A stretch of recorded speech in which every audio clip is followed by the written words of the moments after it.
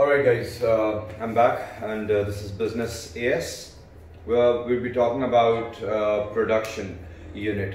صحیح ہے اچھا پروڈکشن سلیش آپریشن یونٹ کے اندر ہم لوگ ڈسکس کریں گے آج سٹاکس یعنی کہ انوینٹری کے بارے میں بات کریں گے اس ٹاپک کے اندر اس کا سکوپ کیا ہے یہ ٹاپک کہاں تک جائے گا ہم سٹاک کو ڈیفائن کریں گے سٹاک ہوتا کیا ہے ہم ڈسکس کریں گے کون کون سے جنرل قسم کے سٹاکس ہوتے ہیں کمپنی کے اندر۔